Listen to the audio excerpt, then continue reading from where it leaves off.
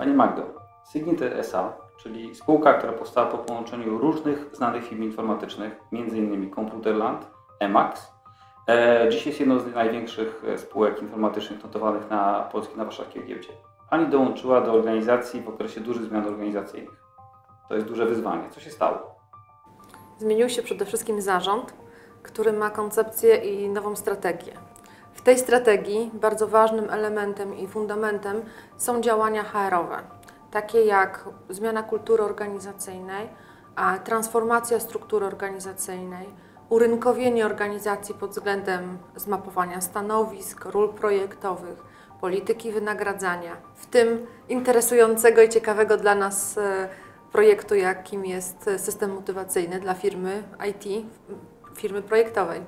Okej, te hasła kultura organizacyjna, strategia biznesowa, struktura organizacyjna e, to są takie hasła, które wszystkie organizacje o tym mówią, prawda?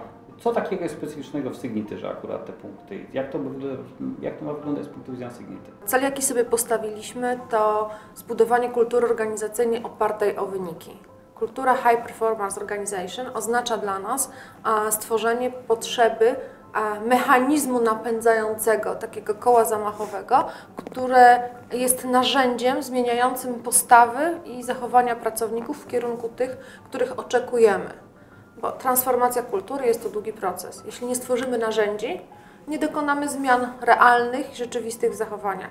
I dla nas tym narzędziem jest stworzenie takiego miksu bonusowego, tak go wewnętrznie nazywamy, Panie Danielu, nasz wspólny produkt, miksu bonusowego, który jest e, moim zdaniem dość ciekawym i unikatowym na rynku rozwiązaniem, łączącym prowizję handlową, prowizję realizacyjną czy e, zarządzanie przez cele w organizacji projektowej.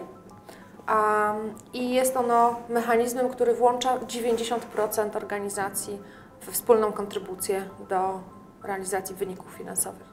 Mhm. Czyli zarówno e, obejmujący tą część handlową, jak i też tą realizacyjną.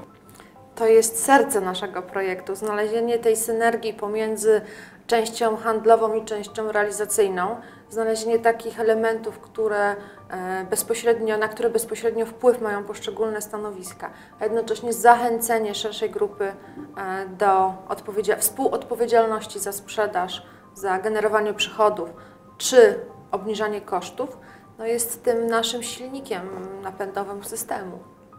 To duża dawka doświadczenia, tak? To doświadczenie ma realizować jakieś konkretne potrzeby organizacji.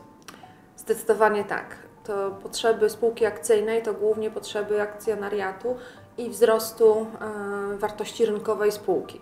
Ten wzrost wartości rynkowej spółki e, w naszej strategii ma się odbywać między innymi poprzez e, budowanie efektywnej organizacji, efektywnej struktury organizacyjnej, e, odpowiedniej nastawionej na wyniki kultury organizacyjnej.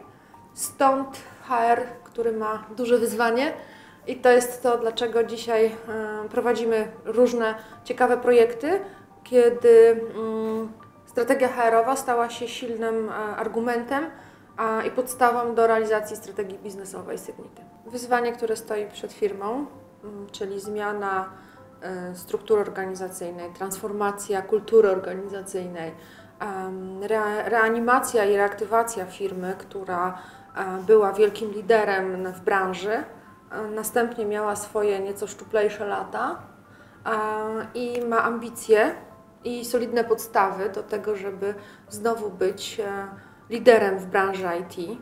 Pani Magdo, e, bardzo dziękuję za tę krótką rozmowę. Mam nadzieję, że podczas najbliższej edycji Kongresu Kadry będziemy mieli okazję troszkę więcej zdradzić e, z tego, z naszych doświadczeń, e, z naszych wspólnych prac projektowych i opowiedzieć również co nieco o rezultatach e, wdrożenia. Tak, mamy już pierwsze rezultaty, chętnie się nimi podzielimy. Serdecznie zapraszam. Zapraszamy.